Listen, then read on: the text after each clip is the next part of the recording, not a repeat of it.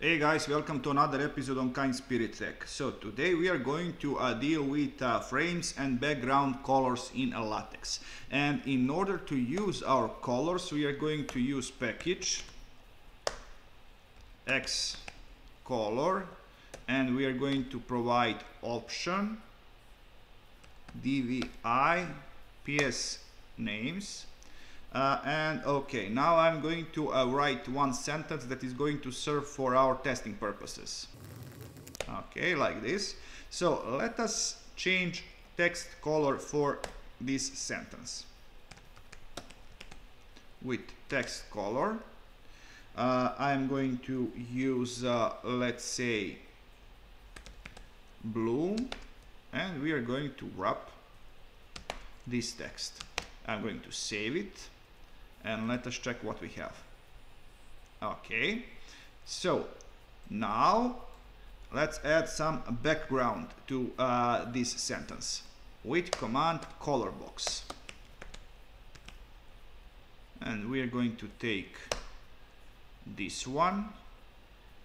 So model is going to be RGB color is going to be let's say 0.8 comma 0.2 comma 0.2 and we are going to wrap this entire construct into our color box. If I save this you see we have our background. But now I would like to show you another way to define your colors. So I'm just going to remove this part for RGB and I'm going to say red exclamation mark 40 if I save this you see we have uh, something like rose color.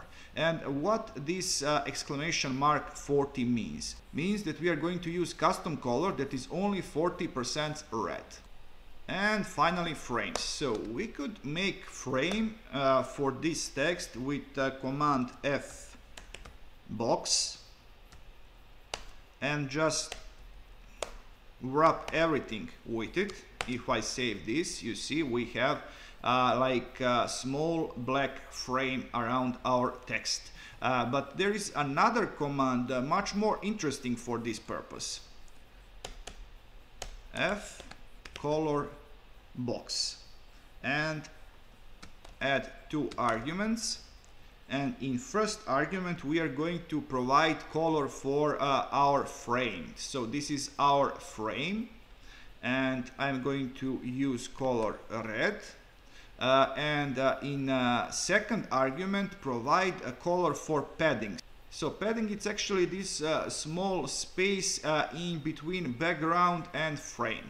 So let's say that we are going to use yellow. Save this and take a look. We have our final product. But that's not all. We could also use something like this exclamation mark 75 save it in order to get different uh, shade for our padding and let us define custom color for our actual frame.